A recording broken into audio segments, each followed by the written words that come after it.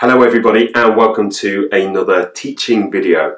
This is part of a series where we're looking at not just the Bible but really how to understand the Bible, how to make sense of the Bible.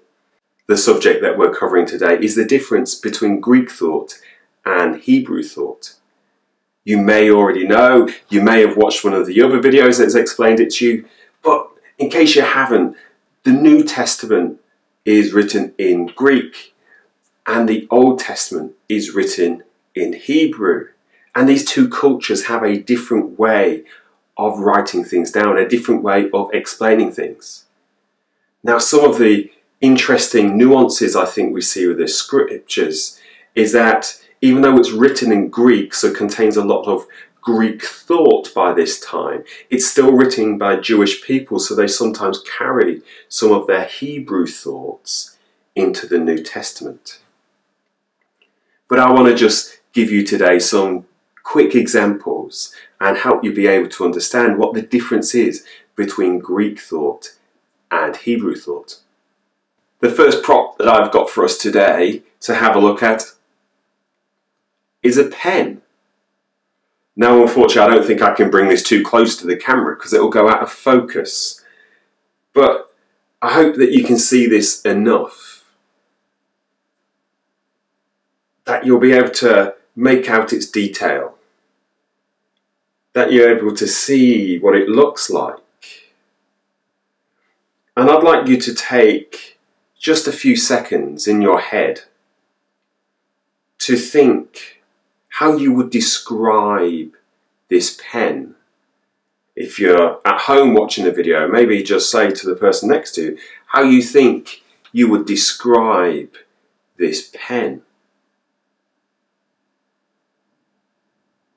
Whilst you're doing that, I'll explain to you that we are Greek thinkers. A lot of what we think these days comes from that those Greek teachers, Greek philosophy. We are Greek thinkers. That means that we probably describe this pen as long, thin, black. It's got bits of metal on it. It's got a, a bit at the end and it's got a, a metal bit at the front and it's got a, a metal clip on it as well. That's how I've described this pen anyway, because I'm a Greek thinker.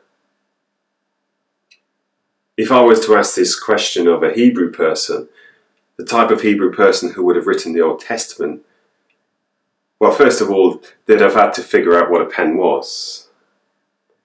And once they had done that, they would have described it by saying, it writes.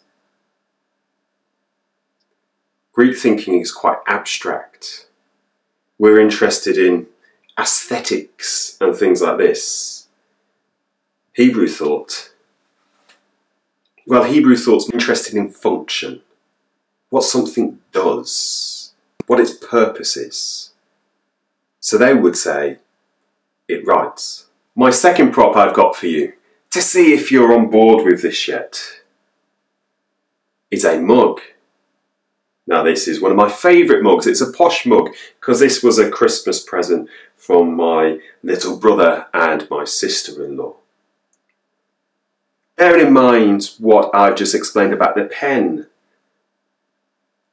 how would a Greek person describe this mug? And how would a Hebrew thinking person describe this mug. Now, of course, you're all spot on now. You're quick learners. A Greek thinking person would have said, well, it's, it's grey, it's got a handle, it's kind of the colour toning of the grey changes as it goes around, and they would have said it's a beautiful mug because it was given in love from your brother Jason. A Hebrew person would have said it contains water. A Hebrew thinking Jason would say it should be containing my coffee, but it seems to be empty. It's about what the mug does rather than what it looks like. So I need to put this into some kind of scriptural context for you. And to do so, I'm going to read from Exodus, Exodus chapter 32. Now, what's happened in Exodus chapter 32 is that Moses is on Mount Sinai, being given the law of the covenant by God. And down below, the people at the beginning of this chapter, they've started to tire of waiting around. So, if you know the story, they start to make um, golden calves out of jewelry, which basically is saying that they've started to worship another god. They got bored of waiting for Yahweh up on the mountain, even though we've done incredible things for them. And very quickly, they've lost sight of all of that and they think, well, let's get us another god and see how that works for us. Moses comes down the mountain and he's furious. And this is what verse 19 says. When Moses approached the camp and saw the calf and the dancing, his nose burned and he threw the tablets out of his hands, breaking them to pieces at the foot of the mountain. When Moses approached the camp and saw the calf and the dancing, his nose burned. Why on earth did Moses' nose burn? That doesn't make sense. Did he get too close to the flames? Actually, what I did is I took the Hebrew word there and placed it into our English translation.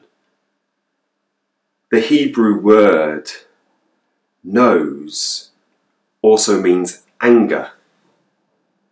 So when you see that passage in Hebrew, it tells us that his nose burned. In English, we read that his anger burned. Why on earth does it say his nose burns then when they mean anger? It's because if I was to say to you, can you describe to me anger? Well, it's an emotion, it's, it's feelings, it's, it's, I don't know, it's abstract. So a Hebrew thinking person says, oh, I can describe it to you. Your nostrils flare that's what happens when you become angry. Your nostrils flare and you start to breathe more deeply through your nose. So, their word for anger is nose. And you can find this all throughout the Old Testament.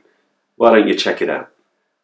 The New Testament tells us to pray in the name of Jesus. Have you ever wondered why? Is it a magic word?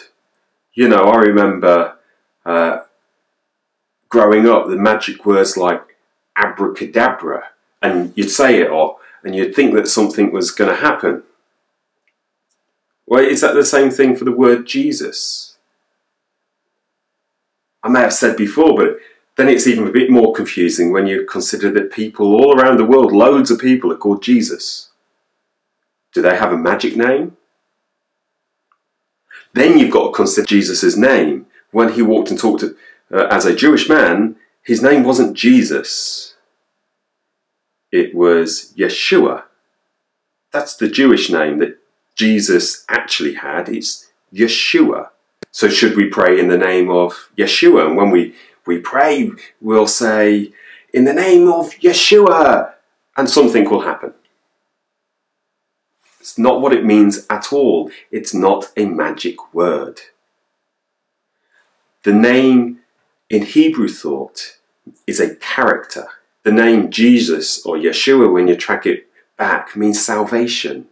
His character, who he is, is the Saviour. When Jesus changes people's names, when God changes people's names, He's making them a new creation. He's giving them a new character. When we pray in the name of Jesus, it doesn't mean that we have to keep repeating Jesus.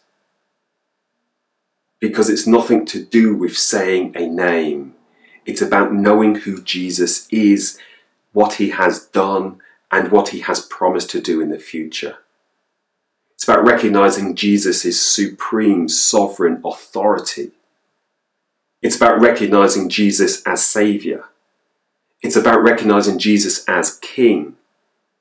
It's about recognizing Jesus who has power and dominion over all things, including those spirits that try and work against him. They are nothing compared to Jesus. They are lesser beings. So when we speak in the name of Jesus, what we do is we bring the character of Jesus into the prayer. We bring the authority of Jesus into the prayer. And we bring that love of Jesus into prayer.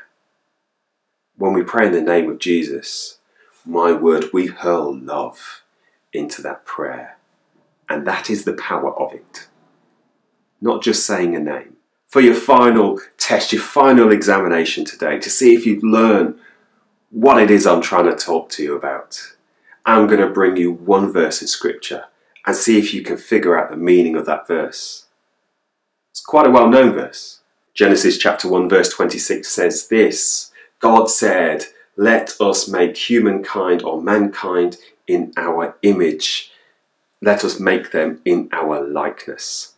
This is one of those verses that I hear many people speak about. It's kind of got one of those verses that we use for inclusivity these days. It we talk about it with diversity, we talk about it with all kinds of things where we're all contained within the image of God. Let us make humankind in our image, in our likeness.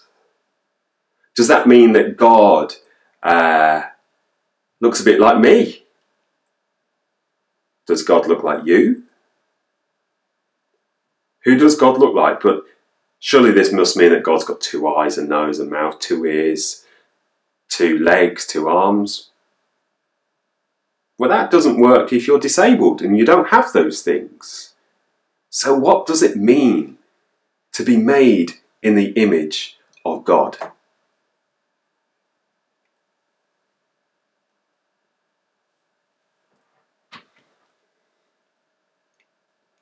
If you're a Hebrew thinker, to be made in this image of this cup, if I was to make another cup in this image, I wouldn't care what it looks like, I'd care what it did. It's got a purpose. And all cups have the same purpose it's to contain some kind of liquid so we can drink out of it. To be made in the image of God is a profound statement about our function. This verse comes in the first creation narrative. It's getting towards the very end of the creation narrative, the sixth day, the culmination of all that God is going to be made. And he says this I'm going to make humanity and I'm going to make them in our image, in our own likeness. Let me read the rest of that verse to you. God said, Let us make mankind in our image, in our likeness, so that they may rule over the fish in the sea, and the birds in the sky, over the livestock and all the wild animals, and over all creatures that move along the ground. This passage is not at all about image as we see it as Greek thinking people. It's so much better than that. It's about saying that God has created you in his image, which means please do the work of God. Have that function. Be creative. Bring perfection to the world. That message continues into our New Testament. When Jesus gives disciples, his apostles, instructions to do exactly what he had been doing, Paul says to us, Be an imitator of me as I am of Christ.